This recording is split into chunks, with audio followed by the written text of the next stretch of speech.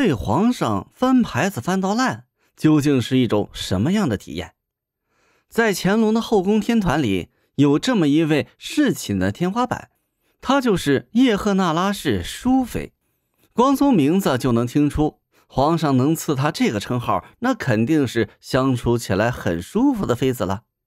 那么她到底是哪里出众呢？能让乾隆在众多妃子中独宠她一人，以至于淑妃的牌子都被翻掉漆了？我们都知道。在古代，受宠的妃子要么是有心计，要么就是家庭好。当然了，淑妃能够这么受宠，不仅仅是靠颜值的，还和她的家庭背景脱不了干系。首先，我们先从淑妃的家庭背景来扒一扒，淑妃到底是怎么做到在后宫中稳坐侍寝第一把交椅的？淑妃的身世可是不简单，是贵族叶赫那拉氏的后人。叶赫那拉氏可算是当时的顶级豪门了，一家子都和皇室是亲戚，祖上曾是叶赫部的首领，曾祖父更是以前康熙年间的重臣，父亲也是当朝的侍郎。这个侍郎呢，就相当于和珅那个职位。我们都知道，和珅在当时可算是极其受宠的重臣了。这样一看，淑妃的爸爸和和珅是一样大的官了。自己的妹妹更是好人家的大媳妇儿，这个好人家也是不得了。淑妃的妹妹嫁给了当时的大人物保和殿大学士傅恒。怎么看淑妃也是家庭显赫，不愁吃穿，光是家里就给淑妃铺好了道路。要不也说淑妃自己也争气，从小是琴棋书画、音乐舞蹈、绣花，一样也不落下。淑妃从小就勤快。家里让学啥就学啥，样样都精通，把自己打造的可是窈窕淑女。你说就这样一个大美人，谁看了谁不心动啊？长得好也就算了，还勤快，十八般武艺样样精通。勤快也就算了，人家身世还好。要是我有这么个媳妇儿，别说做梦笑醒了，我怕是得天天晚上笑得睡不着。所以说。乾隆可算是对淑妃一见倾心。淑妃自十三岁那年就参加了八旗选秀，成为了当时那次选秀中唯一一个被选上的秀女。进了宫，乾隆一看这么个大美人，身世还不赖，一激动就给刚进宫的淑妃封了个贵人。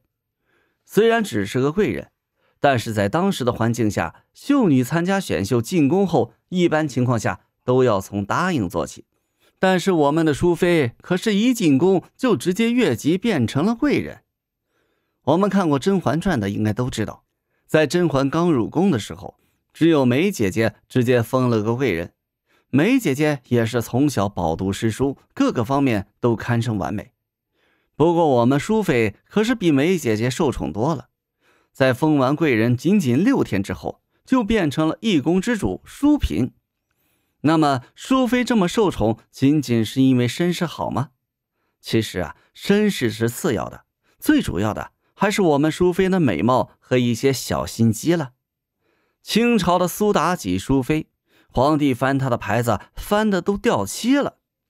要说起淑妃的美貌来，那必定是长在了乾隆的心坎上。虽然没有史书正面记载淑妃的美貌。但我们光从她的牌子被翻掉漆也能看出来了，淑妃的美貌绝对是一顶一的。大家想想，会有哪个皇帝能一直宠幸一个相貌平平的人呢？不过话又说回来，光靠美貌显然是不太可能的。我们的淑妃可谓是十八般武艺样样精通，不光是长得好、身材好，淑妃受宠的一大原因必定是她会按摩。按摩是中医的传统治疗方式。乾隆在位期间，政务繁忙，经常会头疼，就会经常去找淑妃帮他按摩。淑妃也必定是在乾隆面前好好服侍。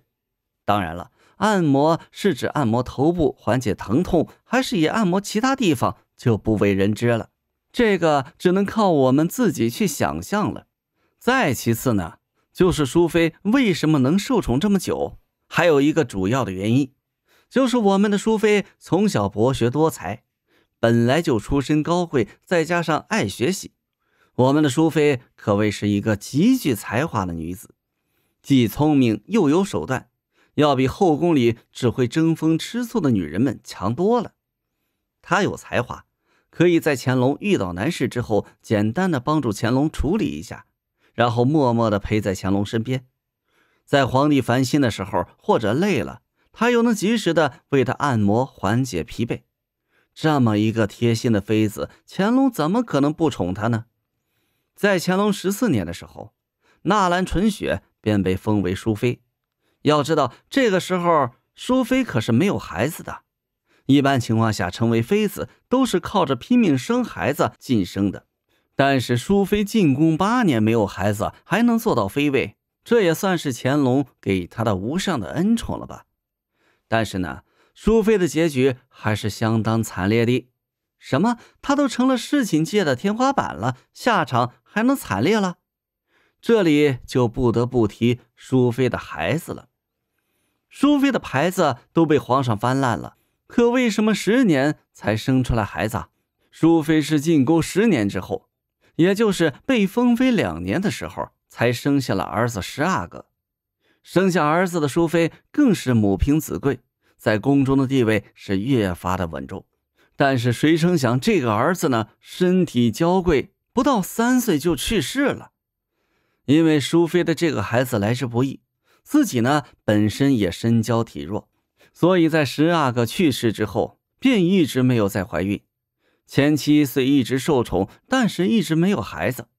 虽然历史上的乾隆并不像电视剧里一直给淑妃用药，让淑妃不能有孕，但是至于十年没能有孩子。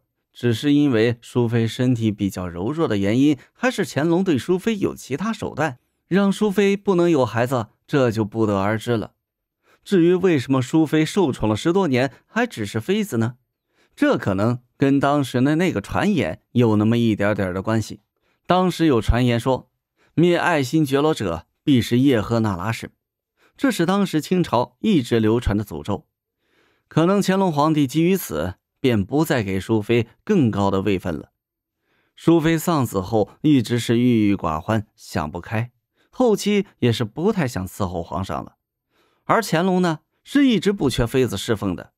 后期两人见面少了，自然而然的，淑妃便不受宠了。此后，淑妃算是一直在宫中，提前开启养老生活。在乾隆四十二年的时候，淑妃去世后，葬入玉陵妃园寝。从此，一代宠妃就此落幕。回顾淑妃的一生，可谓是大起大落。十三岁入宫就开启被宠的生活，十多年来一直宠爱不断。咱只能说，上帝给你打开了一扇窗，那就必须给你堵上一扇门。虽然宠爱不断，但是依然躲不开丧子之痛。好了，以上是本期的内容。